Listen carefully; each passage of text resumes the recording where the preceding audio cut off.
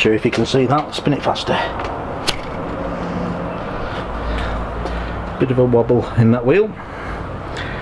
Not too happy with that wobble. Um, it doesn't affect anything because I don't have rim brakes, but uh, I can see it, and that's enough. There's two pulls to the right on it. One just behind the valve.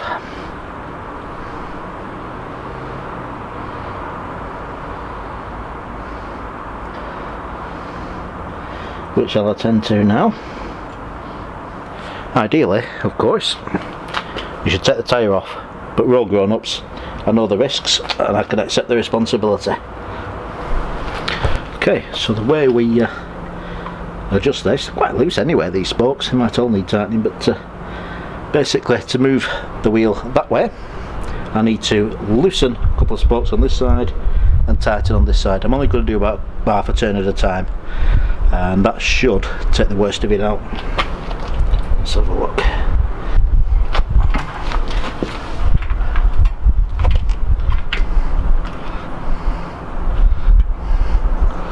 Loosen that one and get in. That one and I shall just nip up the opposite side so the spokes coming from this side of the hub. I shall tighten them by about the same amount.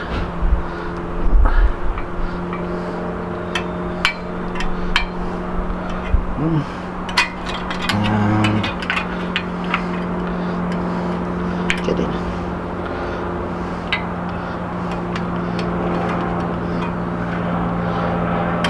Now there's still another bend about 180 degrees from this, but I'll just have to see if, uh, if that's...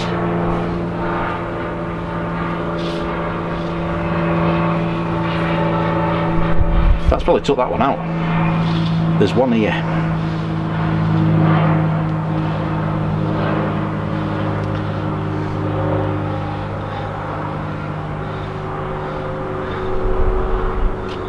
Right, so I'll loosen these two.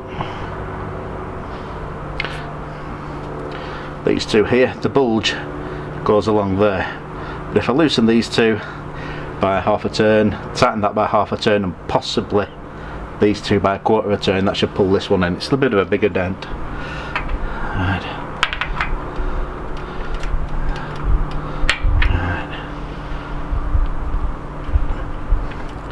Loosen that one a bit.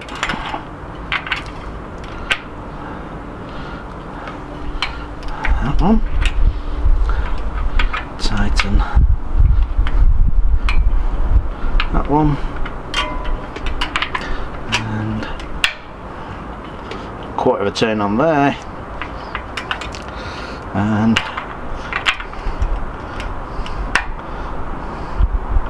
quarter of a turn on there.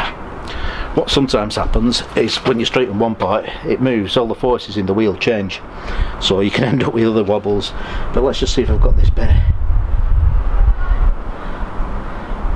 There's still a slight bulge there.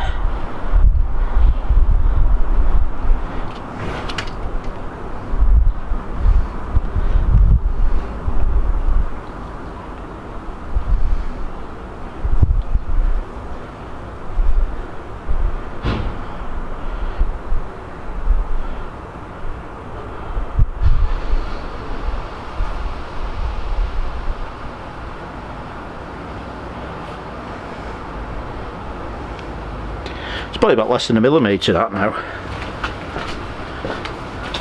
Some people might want perfection but I can cope with that. Let's have a look on the other side just to make sure.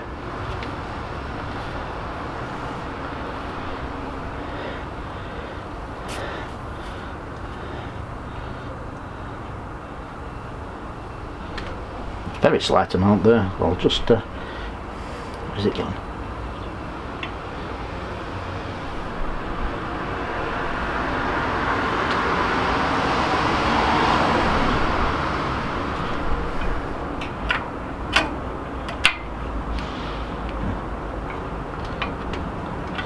Of turn is all that'll need.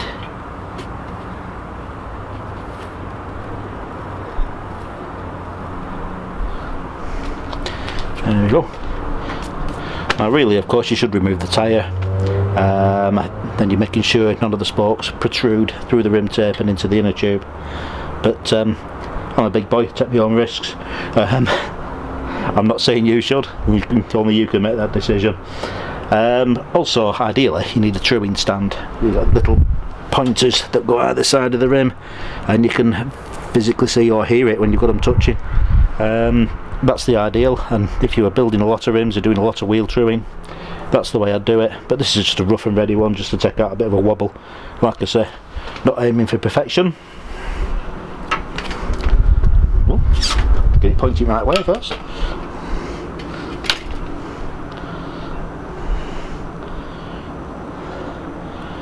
as you see a little bit of movement in the tyre because it might not be seated perfectly but uh, the rim itself doesn't have any wobble.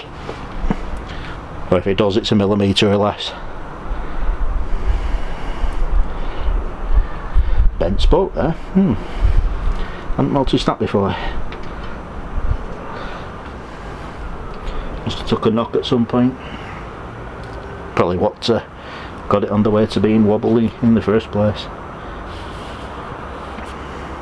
But yeah that's a lot nicer now. Don't need to do the back wheel because that is as straight as an arrow.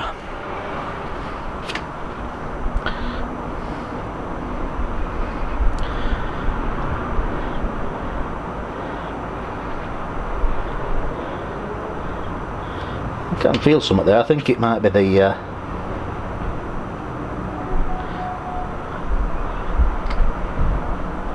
little bit of rumbling. Might be the generator at certain speeds. Well anyway that's a nice quick quick and easy job to do without getting my hands too dirty. Brilliant. The chain's usually out of sight and out of mind on these so I've taken the bottom part of the chain guard off. Quite easy. Two screws. One there. One there. That goes through a metal there and this just clips into place here and it's held to itself prise it apart and remove it from the chain. Anyway as you see you've got quite a bit of play in there and that's been clattering about when I've been going over bumps. Um, what are bumps, cobbled roads etc so yeah now it's just the uh, relatively straight job straightforward job of adjusting the uh, adjusting the chain. Obviously I'll need to adjust the gears later as well. So uh, yeah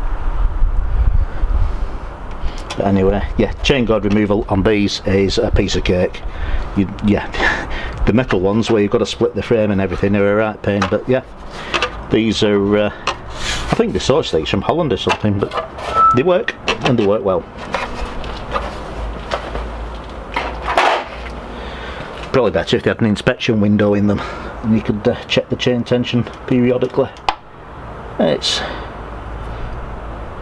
reasonably well oiled don't need to do that.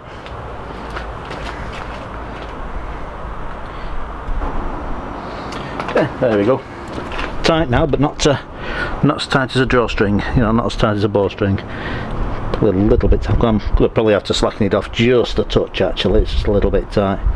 But um, I'm going to change that as well. That's a 22 3 sprocket. I'm going to change that for a 22 which will lower the gearing effectively. Better for uphills um, I should have enough room, enough adjustment to not need a new chain as well. But uh, and it, 22 tooth is the biggest that will fit inside the chain guard. Apparently a 24 touches the uh, the chain guard and wears through. But uh, yeah, I'll get a 22 ordered. They're only a few quid, you know, they're cheap enough to do. Um, yeah, just a case of taking off metal work off to get to it. But uh, I'll do that anyway because I need to reseat this tyre because uh?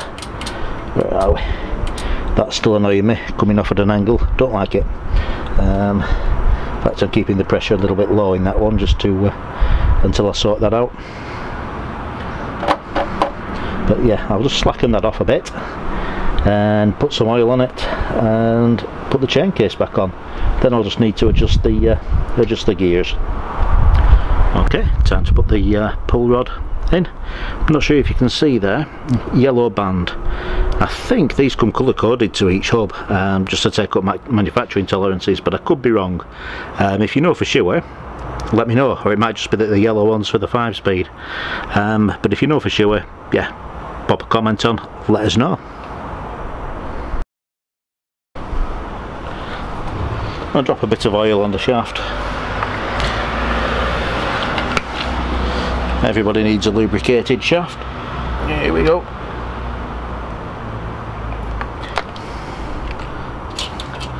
In we go. Can be a bit of a fiddle with the chain getting these to the point where they will screw in especially when that plastic thing's in the way. Let me take it off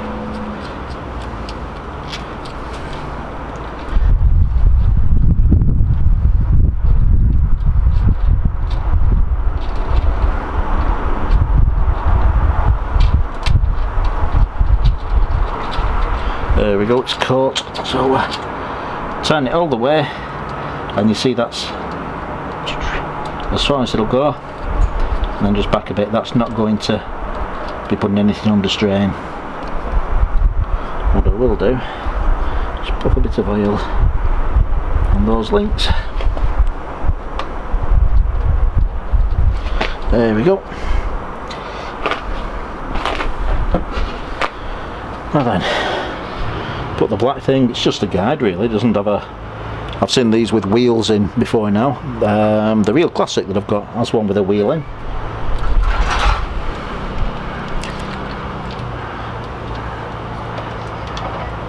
That doesn't do much. Right.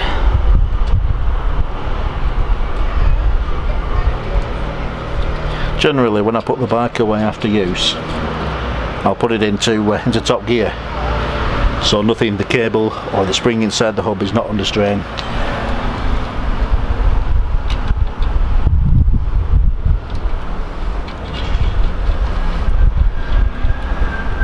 So that's in fifth now, I'll just make sure I put the cable end.